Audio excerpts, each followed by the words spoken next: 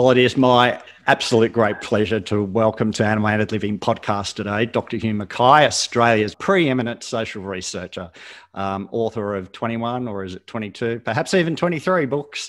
Uh, and his latest book, The Kindness Revolution, got my attention. And uh, Hugh has been holding up a mirror to the face of Australians for decades, helping us understand who we are, what it means to be fully human, and who we are as a nation and where we're going and the kind of values that are going to move us forward in a positive way. Uh, so, Hugh, thank you so much for coming on the Animated Living podcast. It's an absolute pleasure and a privilege to have you on the show. Thank you very much, Ian. It's a pleasure for me too, and I'm grateful for your interest in the new book. And by the way, the score is 22. You were right about that. Okay, 22 with the Kindness Revolution. That's right. okay, yeah. well, uh, your books have had a great impact on me and on my thinking over decades. So when I saw this particular book being released, I thought that's a book I've got to read. And then I started the podcast and I thought, hang on, I'm going to interview Hugh Mackay if I can possibly manage to do that. Uh, let me tell you why your books have helped me, um, just on a personal note. I think as a young adult, uh, you know the world and how i viewed it was much about me. And through my own personal lens and a lot of the issues i faced were my issues. So it's always been about me as a young adult. And then i started reading books like i think was it reinventing australia? Uh, yes. understanding the mood of the 90s and um, in reading that i thought hang on there's there's a lot bigger picture going on here. It's about our connectedness as human beings to one another. It's it's what we share in common and the values that we have and how that impacts upon other people and who we are as Australians and our identity. So you've helped to shape that view of myself in a collective space and in the context of my relationship with others. So, thank you so much for bringing that awareness to my life. I think it would have been a rather selfish and egotistical path had I continued on the one I was on. Well, thank you for saying that, Ian. Um, I mean, it's it's very, very gratifying, of course, uh, to hear that that sort of response to some of my work. Uh, but the point you've made is an absolutely fundamental point about our understanding of what it means to be human. And by the way, your own journey is, is a very typical journey. I mean, when we are young adults, yes. Uh, yes. we are often preoccupied with our own identity, with our own life, with our own goals, um, establishing our toehold on the planet and perhaps uh, choosing a partner, perhaps deciding whether or not to have a family, determining a career, where will I live, what sort of person am I, how will I dress. It's a, it's a very ego driven period typically not not everyone but typically it's a very ego driven phase of our lives but then eventually we come to realize that all of our obsession with self uh, with our personal identity is important, of course. It's significant. It, it's why the world is such an interesting place because we are all unique, we are all different. But then it dawns on us that there's a deeper truth about us, which is far more significant and has nothing really to do with my personal identity or how Ian and Hugh are different but has to do with our common humanity, the fact yes. that we yes. exist together in this vibrating web of interconnectedness and interdependency. Yes. Uh, and yes. that changes everything. That, that changes our perspective. It makes us realize that uh, we can only uh, thrive if we're connected, that, that we need groups, families, neighborhoods, communities of all kinds to nurture us and sustain us and to give us that all important sense of belonging, which is so fundamental to the mental and emotional health yes. of a member of this species, because it is a social species. I mean, humans are hopeless in isolation. And that's why that phase of our lives is a bit that you're referring to is a bit is a bit dangerous. And by the way, just to just to put that in a broader context, I think it's important to realize that the pandemic with the lessons that it's taught us about interconnectedness and interdependency, that arrived at a time in our social history mm. when we'd been through a period as a society very much like the period you described in your own personal life, Ian, because if you look at, at what's been reshaping us and societies like us over the last 30 or 40 years, it's a series of social trends which, taken together, have had the effect of making us more socially fragmented, putting much more emphasis on us as individuals Mm. Uh, the so called me culture has arisen, and this has been driven by things like our shrinking households, our high rate of relationship breakdown, our busyness, our increased mobility, our enthusiastic embrace of information technology, which, like this, connects us but also makes it possible for us to stay apart. Mm. Uh, all of those things taken together, and, and other trends like that, have really ramped up our sense of being individuals. Mm. So there's been a lot of social dislocation, a lot of social isolation. And one of the things we know about members of a social species is that if they're isolated, they suffer. Mm. So we've seen those triple epidemics which have arisen in Australia and around the Western world the epidemics of anxiety and depression and loneliness, directly attributable to the fact that we become a more socially fragmented uh, kind of society. So um, my my great hope is why I wrote this new book. Uh, one of the reasons I wrote it. Uh, my great hope is that that we'll have had enough of a shock, enough of a circuit breaker, as a result of the pandemic, to cause us to say, "Hang on, we've been we've been travelling at a million miles an hour in the wrong direction. You know, we've mm. been heading far more in the direction of look how interesting and significant and important and special and unique I am. Mm. You know, the whole identity politics thing is a, is another example of that. Mm. Now perhaps we have a moment. It's it's like a gift from the pandemic, a moment to pause and reflect on the fact that it that that, that isn't that isn't the most significant thing. It's not even the most interesting thing about us. The most significant thing is what we share as humans. Yeah. And I do want to talk a little bit more about the pandemic and the lessons that you perceive that we were given opportunity to learn and whether in fact we have learned them.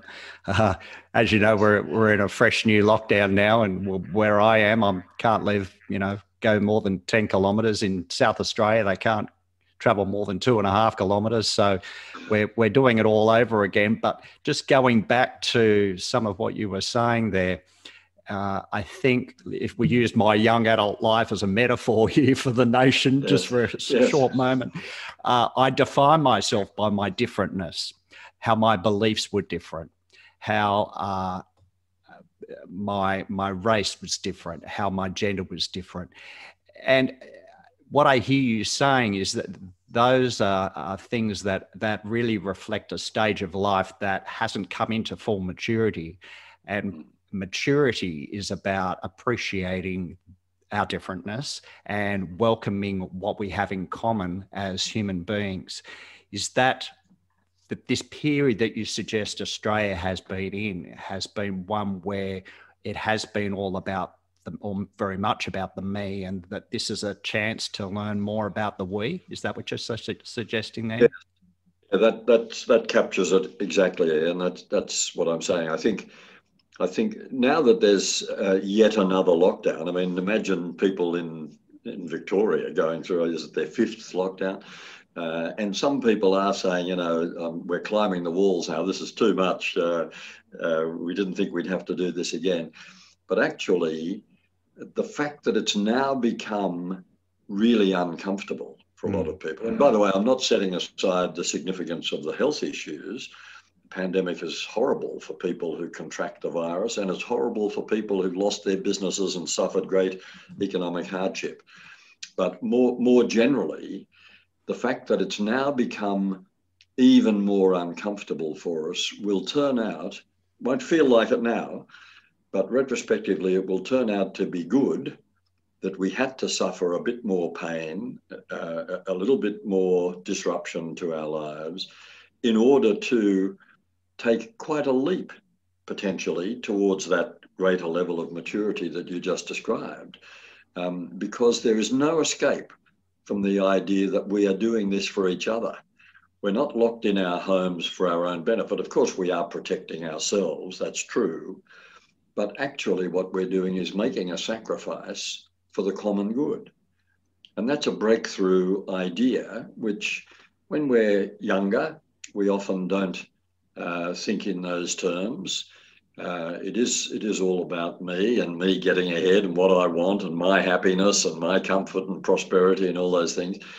It's a bit, there's a very interesting graph of uh, the experience of life satisfaction through the life cycle, which shows that life satisfaction is very high in childhood, tends to drop through late adolescence and early adulthood down into our 40s, which is why so many people experience the midlife crisis, because then the graph starts to turn upwards again. And people in their 50s and 60s and 70s typically report a deeper sense of life satisfaction than they were experiencing in their 20s, 30s, and 40s. This is something for younger people to look forward to. And it's all about this point that you're making. And it's all about arriving at a point of greater maturity, you might even say wisdom, or anyway, accumulated experience, which leads us to understand that actually it's not all about me. Uh, that that I am inseparable from everyone else. We are part. The virus knows this. We are all part of one species. You know, the virus is not only attacking Buddhists over the age of forty-five; uh, it's humans mm. because we are one species. And understanding the oneness, yes. understanding yes. our unity, our common humanity, I think that's why later in life, as we come to a deep, un, deeper understanding of that, there is more satisfaction to be had from life because our priorities change. Mm. Uh, not always. This is not, I mean, talking about a typical pattern, not a universal pattern, but it's true that the focus shifts, as you said, from me to us. Mm. Uh, we become, and, and, the breakthrough in human maturity is always mm. when we realize that that that the greatest contribution we can make, the most satisfying life we can have, is a life lived for others rather than lived for the self. So this kindness revolution in which we uh, become more considerate of our fellow human beings, we understand our mutual connectedness we've had this circuit breaker through the pandemic and through lockdown to appreciate that more acutely.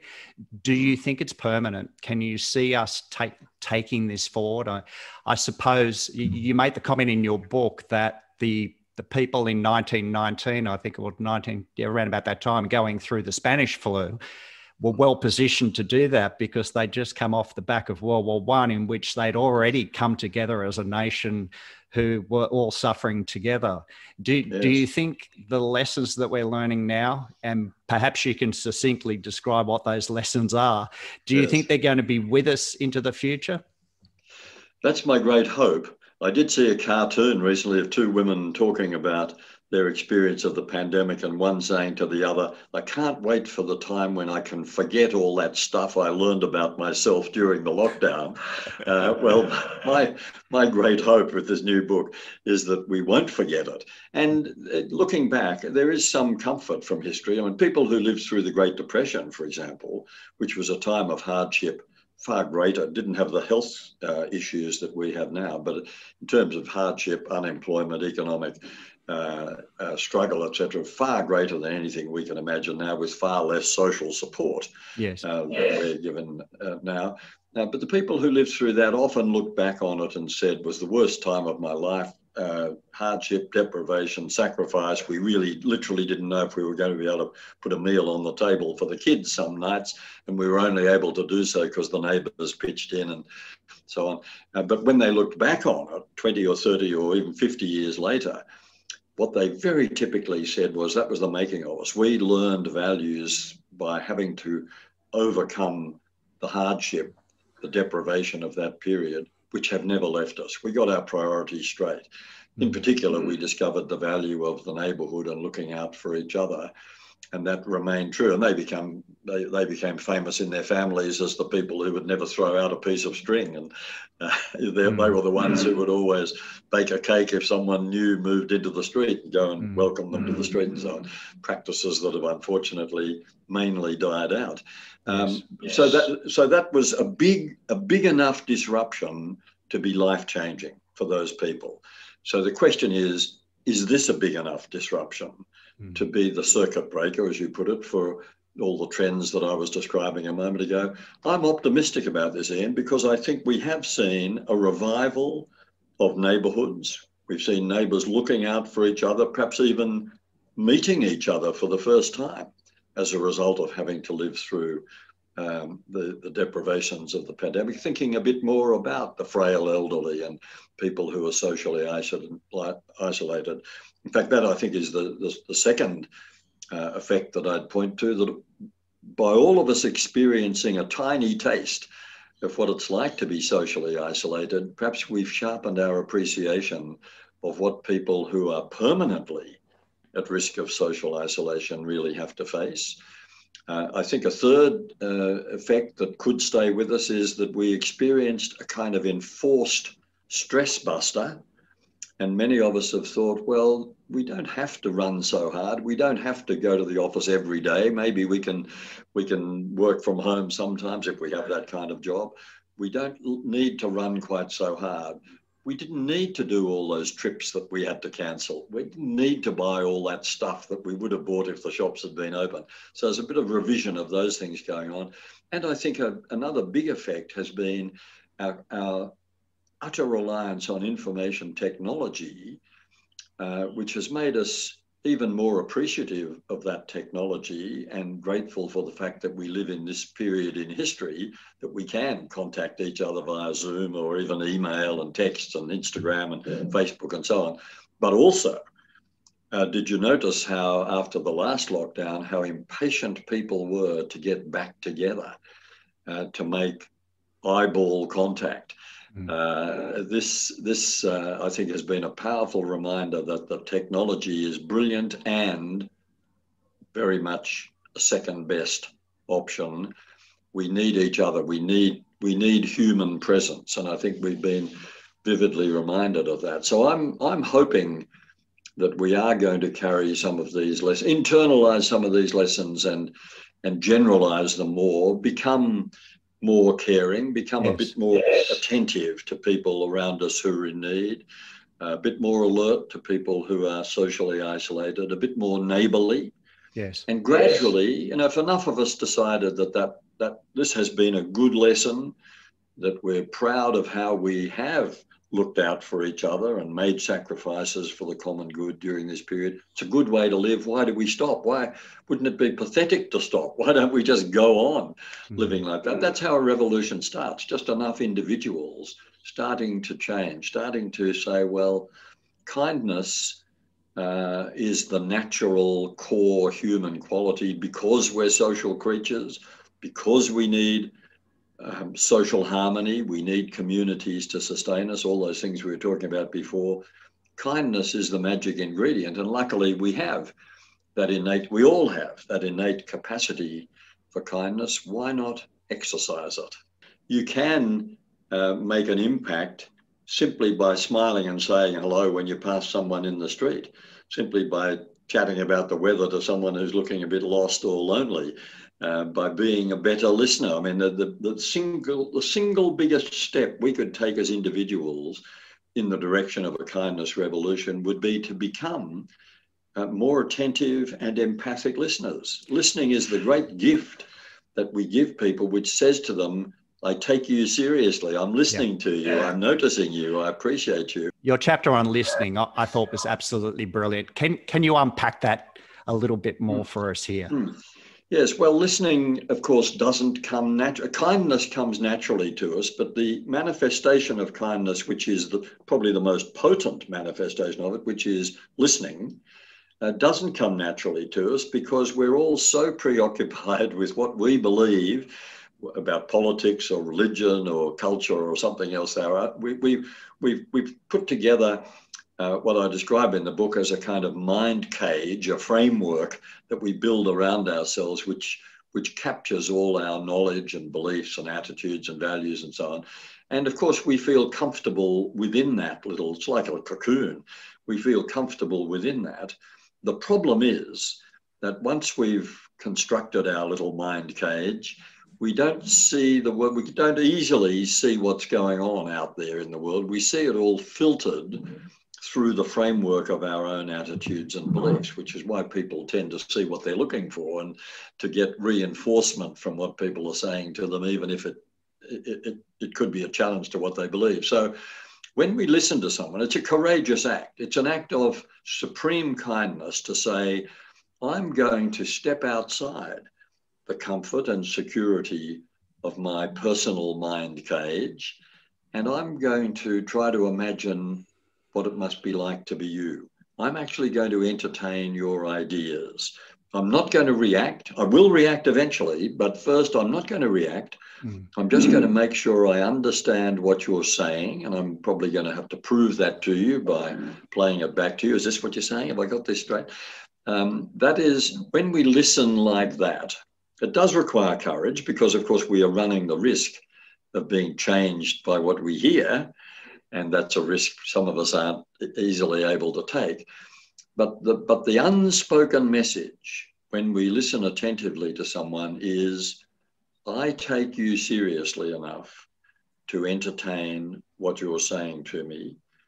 And if I don't listen properly, or if I listen half heartedly, or I look distracted and I look at my watch or something, the unspoken message is I'm sorry, I don't take you seriously enough to understand and appreciate what you're trying to say. That, that's something we'd never put into words with a partner or a colleague or a neighbor or a child or a friend. And yet it's what we, it's the message we convey whenever we withhold the gift of listening. It's the same thing uh, when we are reluctant to apologize for something that we've done that's hurt or offended someone else.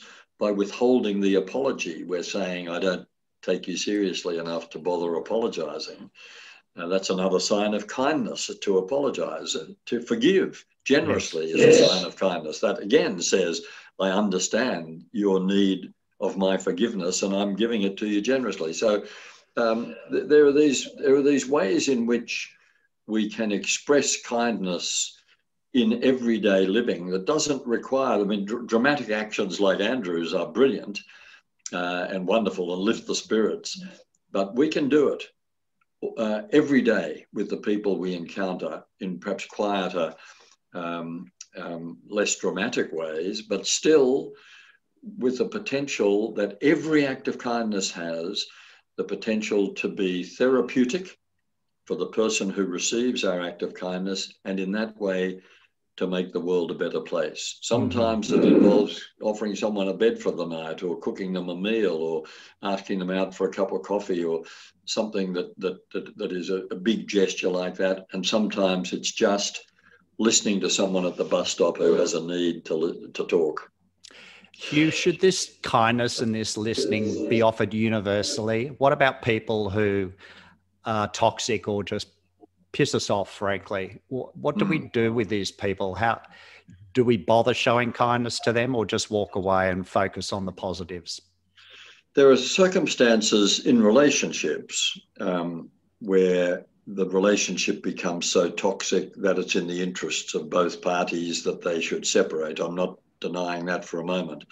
But in terms of the run of our everyday life, one of the most, I think, one of the loveliest things about being human, one of the most dramatic things to say about our species is that we have this capacity for kindness regardless of how we feel about other people. Kindness, I think, of, uh, as a form of human love. All forms of human love are wonderful, but kindness is like the purest form of human love because it actually doesn't require affection it's not an emotional state. It's something that I do uh, for you because you are a fellow human, and perhaps because at this moment you're in need mm. of a friendly word or a helping hand or a hmm. listening ear or whatever it might be. So we are capable of kindness towards people we don't like. uh, Samuel Johnson wrote a lovely thing about 250 years ago when he said, Kindness is in our power, even when fondness is not. And I think that's, you know, we should sort of write that in our brains. You don't have to like someone to be kind. You don't have to agree with someone to be kind. You, you see someone in need. Uh, you don't say, "Oh, look, I see you need a helping hand," but but tell me, how did you vote in the last election? Mm-hmm. You know, I need to be sure we're on the same wavelengths with politics before I agree. Of course, we don't do that. Someone's in in a jam, we help them out. That's a wonderful thing about humans. We don't have to like them. We don't have to agree with them. We don't even have to know them in order to display acts of kindness. And I think it is a discipline, Ian, uh, to to um, to draw on our uh, reserves of uh, uh our capacity for kindness and I think a good way of encouraging that discipline is to make it a subject, a focus of nightly reflection at the end of the day, just in a quiet mm. moment to say, I wonder if I could have been a bit kinder today. I wonder if the way I handled that was as kind as it could have been. Because it's possible to do, I mean, being kind doesn't mean being soft in the head kind people are not pushovers. You can you can express your view forcefully, but still kindly. You can terminate a relationship kindly. You can discipline a child kindly. You can have a robust argument kindly. Um, it doesn't it doesn't require uh, anything other than the realization that we are humans responsible for the level of social harmony where we live. And this is the biggest contribution we can make to that. Yes. Yes. Paraphrasing what you said in your book, uh, kindness puts legs on love. Love can be this ethereal, you know, glossy concept, but kindness is quite practical. Yes, absolutely. Absolutely. And, and yes. I mean, romantic love is exciting and familial love is remarkable and companionate love is fundamental to our uh, emotional health and so on. But kindness is this other as you say, intensely practical expression of the human capacity for love, which is unemotional. And I think that's the breakthrough. You don't have to feel anything. You just have to exercise your true, essential humanity. Well, I've been talking with Dr. Hugh Mackay, who has just published his most recent book, The Kindness Revolution uh, Hugh is the author of 22 books, not just non-fiction books, but also a collection of fiction books. And uh, encourage you to dip into the catalogue and, and read some of that and become more aware of what it means to be human and connect with other people. Thank you for what you have done for so many of us in your writings. And it's been an absolute pleasure and joy to talk with you. Thank you, Hugh Mackay. Thank you very much, Ian. I'm very grateful for your interest in the new book. Thank you.